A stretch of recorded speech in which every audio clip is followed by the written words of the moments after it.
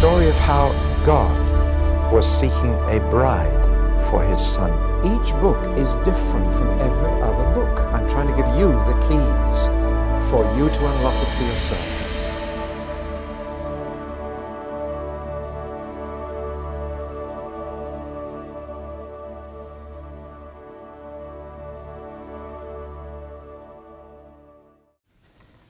I'd like to play a game with you to begin uh, this session. I'm going to read some quotes. I won't tell you where they're from, but I want you to put your hand up quickly if you agree with the sentiments that are expressed, all right? If you don't agree, keep your hand down. Here's the first Generations come and generations go, but the world stays just the same. Anybody agree with that?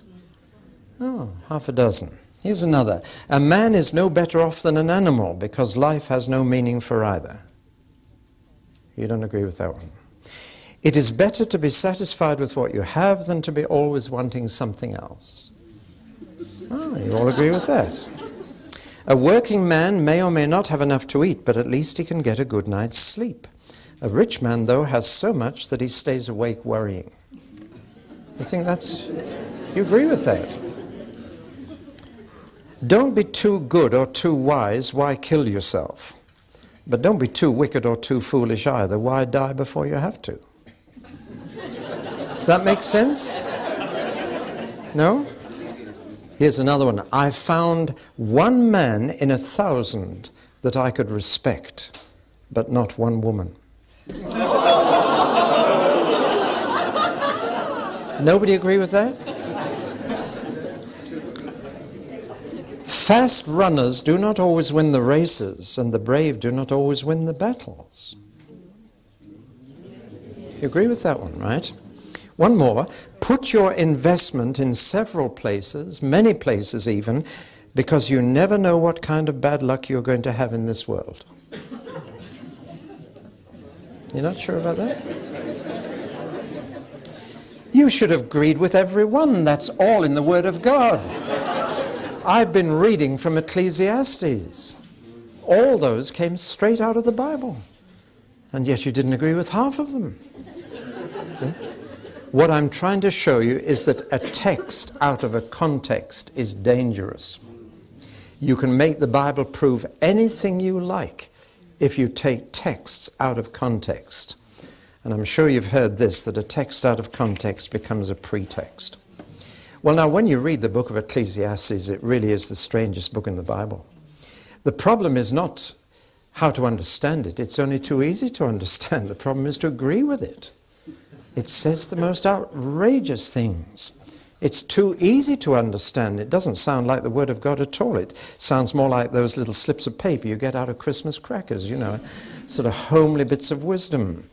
In fact, it doesn't sound much different from, for example, Alfred Lord Tennyson whose uh, centenary of death it was last year. I just picked things at, at random out of his uh, poems. Tis better to have loved and lost than never to have loved at all. For men at most differ as heaven and earth, but women worst and best as heaven and hell. Authority forgets a dying king, knowledge comes but wisdom lingers, because right is right to follow right were wisdom in the scorn of consequence. What's the difference between Alfred Lord Tennyson and Ecclesiastes? There's not much difference at all, is there, when you look at both? In fact, the book of Ecclesiastes has a very contemporary ring. It's full of isms. I'm always wary of isms. Anything that ends in ISM, a little red warning light goes on in my brain. There are only two isms I'm happy with baptism and evangelism. But apart from those isms, all the other isms really give me the willies. They become obsessions with people. And here are some of the isms I've found in Ecclesiastes fatalism. Whatever will be, will be. Existentialism. Live for the present moment. Who knows what the future is? It's there. Chauvinism. Well, I read one or two statements out that are clear chauvinism. Hedonism. Living for pleasure. Eat, drink, and be merry. Cynicism. There's a lot of cynicism in the book of Ecclesiastes, and that seems to me the mood of our age. We live in a very cynical age. that cannot believe good things of people, that always believes there's something wrong or something bad in motives behind good acts. We're a very cynical people. And the general impression is one of pessimism, a gloomy view of life. It really is quite depressing, in a sense, to read Ecclesiastes. Here is a man who has reached the end of life and is disappointed, disillusioned, and hopeless. I say reach the end of life because it's very easy to tell how old an author is by what he writes. We've just read the Song of Songs and studied. It. How old was Solomon when he wrote that? When he extolled the love with this girl. I mean, he was quite young. But when you read the book of Proverbs, which he also wrote, he says, Now, son, watch the women. now, how old is he now? You see, he's middle aged, isn't he? He's trying to stop his son doing the same things he did. I remember once hearing a girl say to her mother, What did you do at my age that makes you so worried about me? Which is a most devastating question. So when Solomon says, you know, watch the women, son, that's a middle aged man. But here in Ecclesiastes, remember your Creator in the days of your youth, before the teeth of you and the eyes are dim and the legs shake. How old is he? He's very near the end of life. He's reaching his long home, as he calls it. And he's looking back on life and he's desperately disappointed, disillusioned, and depressed with what he's done about it, or with it. And these insights in this book are the result of his observations. Uh, he keeps using the phrase, I saw, I saw, I saw. And he observed life, he watched people, and he came to certain conclusions, which he includes here. Now, this does not mean that God sees life as Solomon sees it. That's very important. And that's why you don't just quote texts from Ecclesiastes as if God is saying it. We've got to ask why God put it in the Bible, but nevertheless. So here we have Solomon, and he gives himself a title, in Hebrew, Kohelet. What does it mean? It's sometimes translated preacher, or philosopher, or lecturer. I think the nearest translation would be speaker, particularly because we use this word for the one who presides over the debates in the House of Commons. And this old man is presiding over a debate, but the debate is going on in his mind. And uh, like every good speaker, he allows the pros and the cons to have equal speech. And he listens to a negative thought in his mind then a positive. And the debate is about the motion, life is worth living. And he cannot decide whether his life has been worth living or not. And he keeps listening to the pros and the cons, the yeas and the nays, trying to decide whether the motion is carried or defeated. Now, it's awful to reach the end of life and to be, debating that question because you only get one bite of the cherry. You only get one chance to live. Yesterday has gone. You can't have it back again. You only get one time around. And to get to the end of life and feel that you've missed it, that's terrible.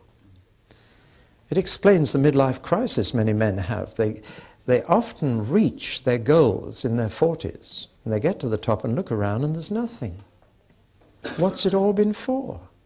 What's it all been about? And many men in middle years try and start all over again, and they trade in the family saloon for a sports car, and they trade in the wife for a later model, and they, you know, they, they go crazy because they feel, I've missed it, got to start again.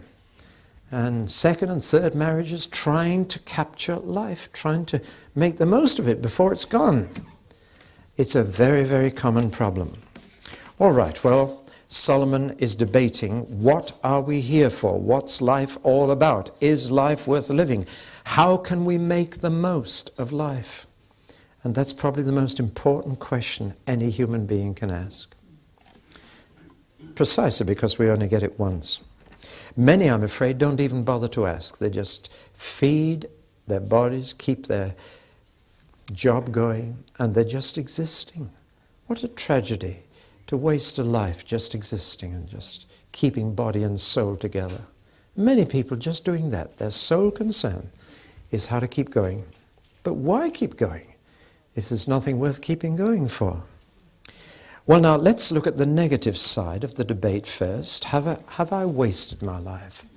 What's it all been? And his opening statement vanity, vanity, all is vanity.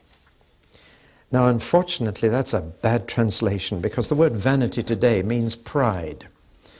Most cars have a vanity mirror on one of the um, sun shields. You notice which side it's usually on, by the way, but um, it simply means a pride mirror. And the word vanity today simply means pride and nothing more. But in older English, vanity means emptiness. It's to do a thing in vain, useless, wasted. And I think the nearest English word to vanity is pointless. Here's a man who gets to the end of life and says, pointless, pointless. It's all been pointless. Now that is a very, very sad conclusion. Or useless, useless, utterly useless, as one modern translation puts it. Now he had been in a position to have anything he wanted and to do anything he wanted. First, he was king, so he had the power to do anything he wanted. He also had the wealth. He was a very rich man. If money could buy it, he could buy it, and he did. He had fame too. Now, these are the things most men want wealth, power, or fame. To find some meaning in life, to make life worth living. Well, he was fabulously wealthy and so famous that the Queen of Sheba came on a pilgrimage just to meet him and see what he was like. And she said, The half has not been told. Now, he said, I've tried everything. And he gives a list of his interests. And they cover a huge range of human activity. The first thing he tried was science. And the particular branch of science he studied was agriculture. And he went in for cattle breeding. And he really studied it and he bred some fine cattle. But it didn't satisfy him. It was interesting while it lasted. Didn't satisfy. So he then turned to the arts and he tried two branches of the arts. Music was the first, and of course he in inherited a love of music from his dad, but he, he, he really went into music, studied the instruments, had orchestras playing in the court, and yet it began to pall so he then moved into architecture. That is satisfying, to build a great building and to feel it'll be there long after you're gone. It's very satisfying, as architecture, except you have to live with your mistakes. And then he tried collecting pictures. And he built galleries and he collected pictures from all over. Paid a fortune for them, but they're all mine. And he would walk along the gallery looking at his pictures. But pretty soon that began to bore him, so he tried entertainment. Now, he didn't have TV, he couldn't, so he got court comedians. And they came in and they put on a sitcom for him regularly in the palace, and he laughed himself silly to go to bed. And laughter became comedy. Have a good laugh. That's, that's what life's all about. Have a good laugh. Have you heard that anywhere? And he tried that. And it was fun while it lasted, but it didn't last. So then he went into business and he amassed a fortune in the commercial world and he really was good at buying and selling. And he really found he could make money hand over fist more than he needed. And yet somehow that didn't satisfy. So then he tried pleasure and he tried the usual forms of it food, wine, and women. And he certainly went into all three at depth. And still he was empty so he then finally went into philosophy and he bought a library full of books and he, he, searched for wisdom books all over, got them from Egypt. There was a lot of wisdom literature in Egypt and he got a lot from there. And he filled this library and he studied all the wisdom and he studied all that great men had written. And finally, instead of making books, there is no end. You can't read them all.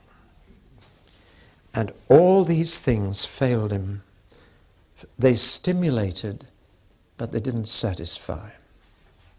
Now, listen, there's nothing wrong with many of those things, but if they are the main purpose in life, they will fail to interpret life for you. Don't we need to hear this? There's something very modern about this. He's saying, Look, I have tried it all. and it's all pointless. Now, you see, when you've found real life, you can get joy out of all those things. But if you're trying to find the meaning of life in any of them, one of the problems is you grow old and you can't do them all as you used to. Or else you just get tired of doing them. And we live in a frenetic age when people are constantly trying something new. The biggest section of bookshops is the cookery section. Trying to find some new gastronomic experience that might titivate us. You know, we'll go to the Thai restaurant tonight, we'll have Chinese tomorrow night, and we'll do Indian the next night. You know, as if Yorkshire pudding isn't good enough for us. As if we must have some new experience to stimulate us. We might be satisfied if we explore all the cafeterias of the world. It is really quite sad to see people trying to find meaning to life in these ways instead of having found meaning to life, able to enjoy them in their place. But when they become number one, it leads to what he calls vexation of spirit. We would say frustration. You just become frustrated.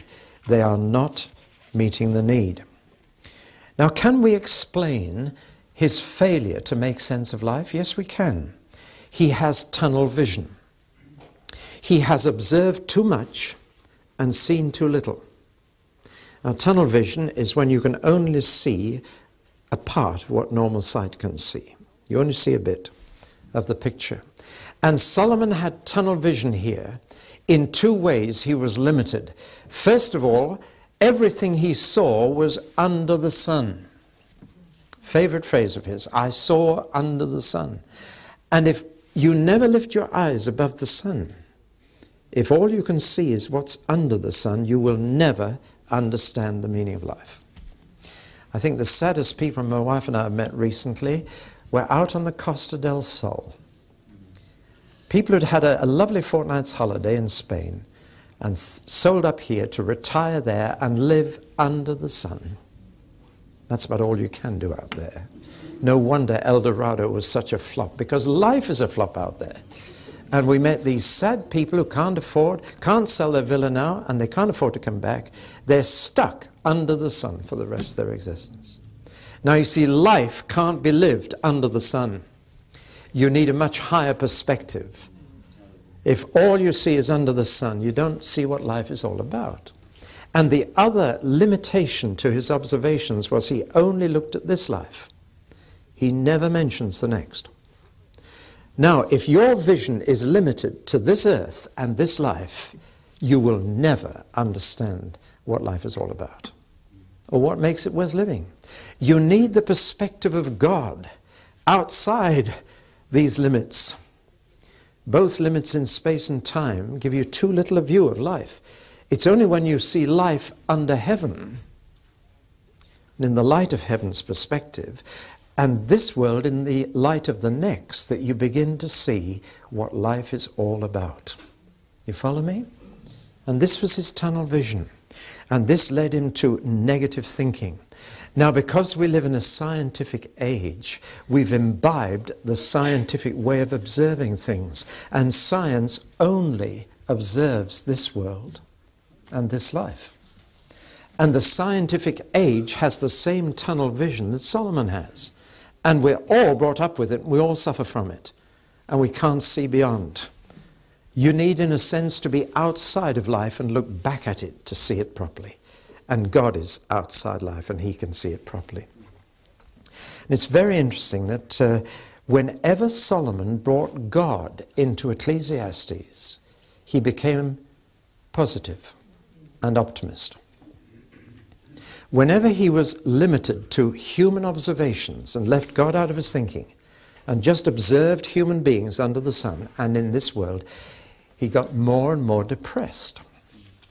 But when God came into it, he begins to be positive and to see life in a different perspective. And there are two chapters in Ecclesiastes where God comes right into the picture and life is focused. The first is chapter 3. It's the best known and the most frequently quoted section. You all know it. A time to do this, a time to do that. Melvin Bragg gave a title to his latest novel, which was serialized on TV, A Time to Dance. He took it straight out of this. And it's amazing how many authors have taken a phrase out of Ecclesiastes 3 as a title for a novel or a film. Very popular. In fact, it's the only bit of Ecclesiastes that most people could quote. But it's a very important part. Unfortunately, people don't quote it all. You see, it is a poem, it's got rhythm, it's a real poetic song about times. But the important bit of it is just after the poetry ends, when it goes back to prose. And it says that God orders our times. As the psalmist says, our times are in his hand. And when you believe that your life is in God's hands and that he knows the right time for you to dance and the right time for you to weep, then the things that happen to you are not chance, they're God's choice for you. And He's weaving a pattern out of your life. And life won't be one long picnic, and life won't be happiness all the way because that's bad for you. Do you realize that if our feelings were always on the same level, we wouldn't have any feelings? Do you ever think about that? It's only because we have lows that we have highs. if your feelings were always the same, you wouldn't have any feelings. Thank God for feelings. There are times when we'll feel like dancing, and there'll be times when we don't. There's a time to kiss and a time to stop. See? Now then, uh, I've written a chorus about this. We're going to sing it. Um, I've put it to a well known tune, you'll all be able to sing. And uh, it's about times, but it begins and ends where Ecclesiastes 3 begins and ends with God deciding the right time for us to go through a particular experience. Isn't it a, lovely thought to think that if something happens to you, that because your life's in God's hands, then it's the right thing to happen at that time? This is not fatalism. Fatalism believes in an impersonal fate that nobody can affect. That's quite different from God's free choice of what He will allow happen to you. And He will vary our lives so that His purpose is fulfilled in them. Well, let's sing it together, all right? God is sovereign, sets the seasons, date of birthday, day of death, time for planting, time for reaping, time for killing, time to heal, time for wrecking. Time for building, time for sorrow, time for joy, time for mourning, time for dancing, time for kissing, time to stop, time for finding, time for losing, time for saving, time for waste time for tearing, time for mending, time for silence, time to talk, time for loving, time for hating, time for fighting, time for peace. Have your fun then, but remember, God is sovereign he decrees. That is why the Bible says when you make plans for the future, always say, God willing. My father always used to put in a letter somewhere, DV, in brackets. It stood for a Latin phrase, Deo volenti, God willing. Letter after letter, I've seen him just put DV. I'll be with you next week. DV. That's a person who knows that our times are in God's hands. And actually, all the plans you may make may come to nothing because God has other plans for you. And uh, that's a positive note. It's not fatalism, it's not saying whatever will be, will be. Because God can change his plans. There's no doubt that God changes his mind. He repents. The Bible says that. He interacts with our attitude to Him. If we change, He does. If we repent, He does. And time and again you find people like Moses changing God's mind for him and pleading with him. God is not just a, a, mechanical force, getting it all laid out. He's a person and He's interacting with us. And as we interact with Him, He can change the times. He can give you a time of dancing when you expected a time of weeping, and He can do the opposite. That's the first chapter in which God comes and things become positive. And what He's saying is there can be a pattern to life, and God can set the pattern and God can make sure His purposes for your life are fulfilled. Another favorite saying of my father was, uh, Life is long enough to live out God's purpose, but it's too short to waste a moment. Well, that's what he's saying in Ecclesiastes 3. Our times are in his hand. And he will decide, not in an arbitrary predestination kind of way, but he will decide what is best for us in the next time, next part of our life. Isn't it good to have somebody looking after us like that? And to know that if the next part of the road is tough and unhappy, well, He has decided that's going to be for our good, and He has brought it, and He will see us through, and our character will be formed by that for our future blessing. See, this is where the longer view of happiness in the next world really makes a lot of difference. Really does. See, this world is so brief and so fleeting. Uh, I've got a theory as to why. When I was 20, one year was a 20th of my memory. When I was 40, one year was a 40th of my memory. When I was 60, one year was a 60th of my memory. Next week I'm 63, so one year is a 63rd of my memory. And so that's my theory. Life gets compressed in your memory. And it seems to go quicker and quicker and quicker, doesn't it? It seems no time at all since we were last here videoing, and I've had two conferences here since then. One or two of you men came to our men's conference in January. But life just rushes by. But we've got all eternity to benefit from what we've learned in this life. All eternity to enjoy the good things of God without all the hassle.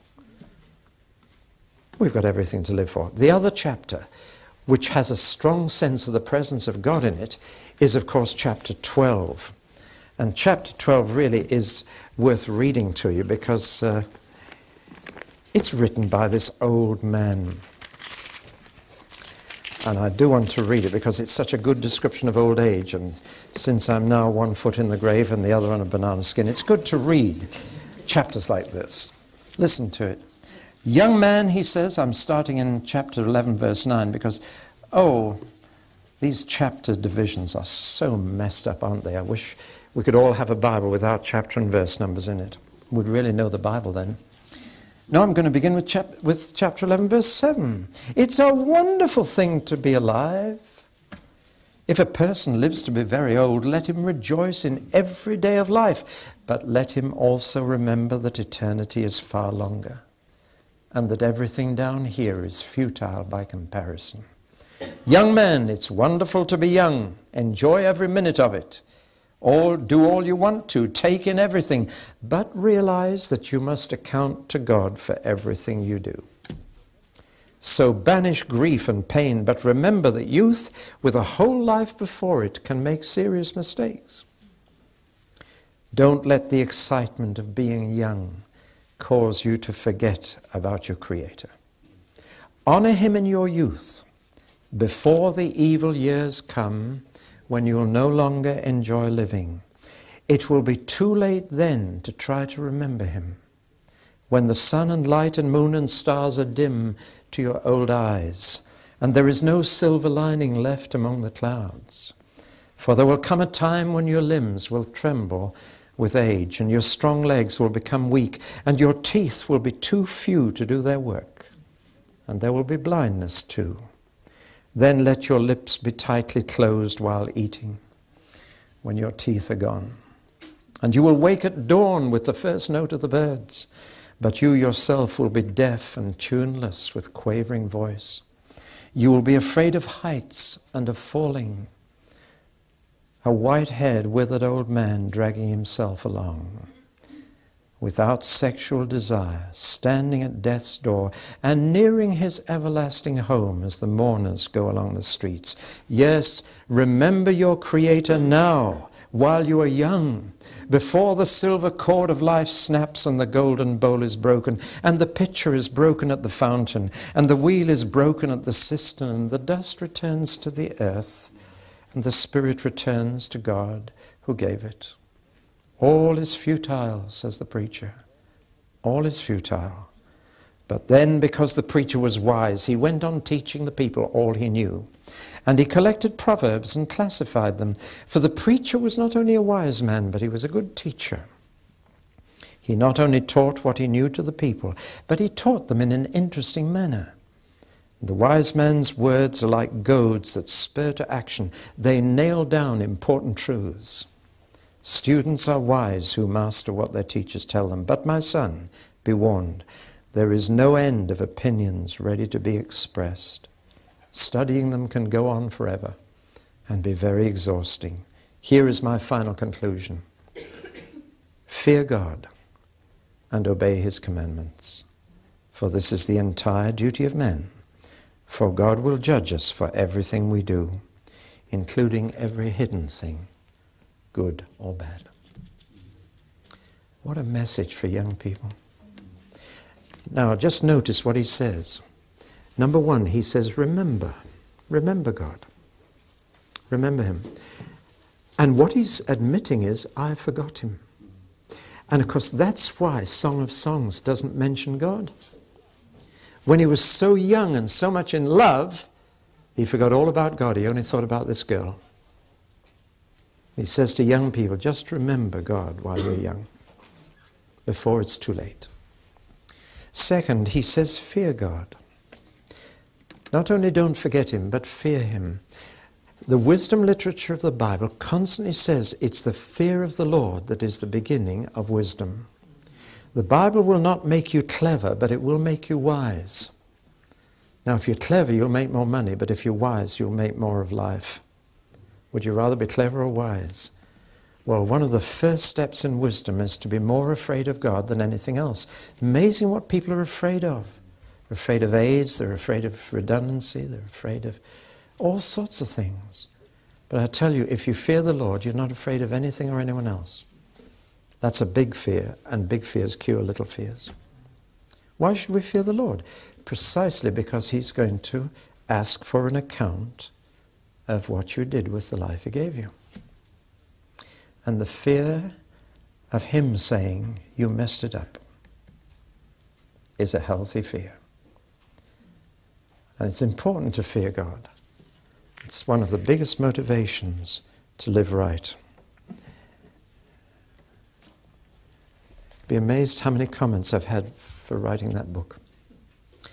We live in a generation where even people inside the church don't want to hear a thing about that. And yet God said, or Jesus said, to born again believers, don't fear those who can kill your body. Rather fear him who can throw body and soul into hell.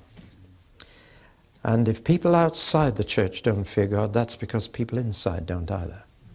Fear is contagious. And when people inside don't fear the Lord, people outside have no fear of Him at all. They think he's a nice old guy who wouldn't harm a fly. They're utterly wrong. So remember God, fear God, and obey God. I was in uh, a millionaire's home in Dallas, Texas, and the father in the home had bought his daughter a Toyota car to go to school in. She'd had it 18 months. And this happened while I was there. She walked home and she told her father that the car had broken down. It had just stopped in the middle of the road. So he sent a mechanic out to find out what was wrong. And the mechanic telephoned and told him, and I was present when he asked his daughter, Have you been putting oil in the car? And she said, Oil? You never told me I had to put oil in. I've been putting petrol in. For 18 months she'd driven that car. Now there was a book in the glove box the maker's instructions. She'd never bothered to read it. And so she'd just run it into the ground. Mind you, he had pull and he phoned up Toyota and they promised to give him a new engine free. He was telling all his friends about this wonderful Toyota offer, so they got their money's worth out of the advertising. But you see, she was an idiot with that car, brand new car. She just totally ignored the maker's instructions. Within 18 months, it was finished. But people are equally foolish to leave the maker's instructions on the shelf or in the cupboard. F- remember God, fear Him, and study His way to live. I believe this is why the book of Ecclesiastes is in our Bible, because it tells you where you finish up if you don't discover His way to live that if you don't understand the meaning of life from heaven's angle and from the angle of the next world, you finish up a disillusioned, disappointed, depressed person saying, Well, the whole lot was pointless. Where has it got me? I'll be dead and gone, and people will have forgotten about me in no time, and I will leave no trace whatever of the 50, 60, 70 years I've spent here. Well, Christians don't feel like that. They know that Whatever we do in the Lord, our labor is not in vain. It has eternal consequences for good or evil. And uh, to know that you're doing things, that things could happen this weekend in you that will last forever. Because there are eternal issues at stake. I believe that's why it's in our Bible. Many years ago, I was preaching my way through Ecclesiastes, and uh, I think we had more conversions during that series than any other series I've preached. Yet I wouldn't have chosen Ecclesiastes as a good gospel message. You're nodding your head. Were you there? And you will remember something that happened. There were even Jews converted during that series. But halfway through, my telephone went Sunday afternoon. A voice said, We've got Charles Colson in England, Chuck Colson, the Watergate man, you know, from the Nixon affair, and uh, would like uh, to find a place for him to give his testimony tonight. Could he come to your church in Guildford? So I said, Yeah, fine. And then I had a real battle. I thought, I've prepared Ecclesiastes 5. And I don't see why we should stop listening to God's word because a star testimony has come over the Atlantic.